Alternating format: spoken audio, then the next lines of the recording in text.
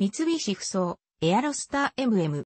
エアロスター MM、エアロスター MM は、三菱不走トラックバスが1993年から2004年8月まで製造、販売していた9メートル大型路線バス。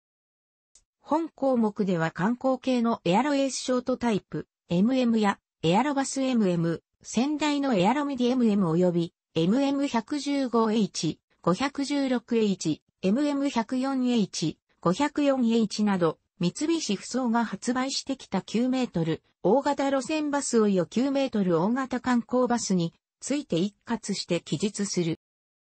全長9メートルサイズのリアーエンジン車は、1950年代初頭に発売された R23、R24 を単書としている。その後、1950年代後半には R280 が発売された。この当時は道路事情等から多くのバス事業者が9メートルクラスの車両を標準サイズとして採用しており、特に共愛路専用という位置づけではなく、地方ユーザーでは貸切車としての需要も一定数あった。その後、道路事情の改善や乗客の増加に伴い、都市部を中心に多くのバス事業者が10メートルから11メートルクラスの車種を標準として採用するようになると、9メートルクラスは次第に都市及び山間部の共愛路線用という特殊な用途に限定されるようにな、1964年に MR510 全長9.15メートル、ホイールベース4.25メートルが登場した。MR510 は1967年に全長とホイールベースを若干延長した MR520 全長9.34メートル、ホイールベース4.37メートルとなり、1974年まで製造された。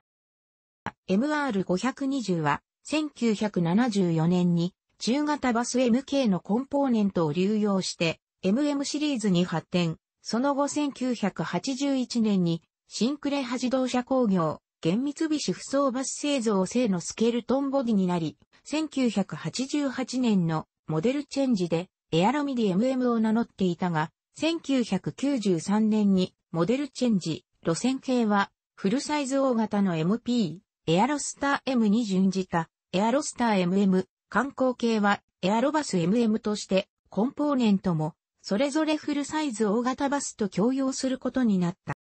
1974年、MR520 の後継として登場。形式は、リーフサス社が MM104H、エアサス社が MM504H、車体はクレハ自動車工業製で、ホイールベースは4.37メートル、B6 系に似たボディを仮装している。トップドア仕様のほか、前中比及び前後、扉仕様も設定され、側窓は引き違い窓が基本設定であったが二段サッシ使用も少数ながら製造された。用途は自家用や観光用が多かったが、路線車としても一定数のニーズがあった。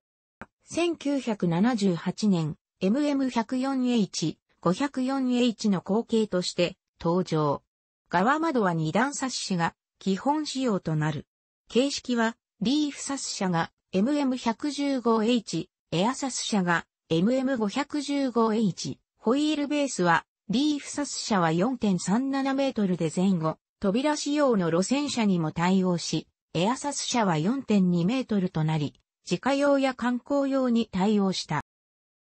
1980年、昭和54年排出ガス規制に適合。KMM116H、リーフサス516、エアサスとなる。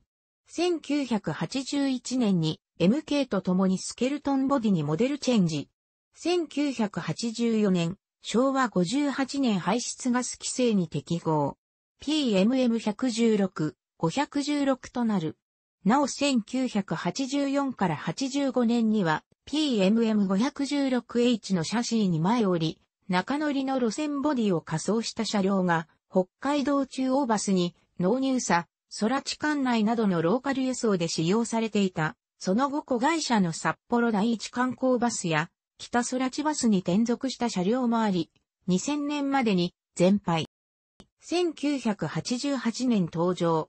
PMM117J、リーフサス 517J、エアサスとなる。MK と共にエアロミディと名乗る。路線用はエアロスター K に似たボディを仮装し、観光、自家用はエアロミティ MK に似たボディを仮装している。1990年、平成元年排出ガス規制適合で UMM117J、517J になったが、大きな変更点はない。1993年、路線、自家用使用者は、エアロスター MM と変え、ボディもエアロスター M に似たボディを仮装する。形式は、UMM218J、リーフサス 618J、エアサスとなる。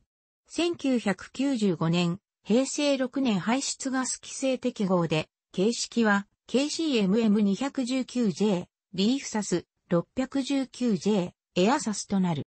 1996年、エアロスター、2代目に似たボディにフルモデルチェンジ、ニューエアロスター MM となる。形式は KCMM319J、リーフサス 719J、エアサスとなる。1999年、平成10年排出ガス規制対応で、形式は KKMM33HJ、リーフサス 35HJ、エアサスとなる。エアロスター MM の路線使用者は、北海道中央バス、山高バス、豊橋鉄道、現、豊鉄バス、松江市交通局などの限られた事業者しか納入されなかった。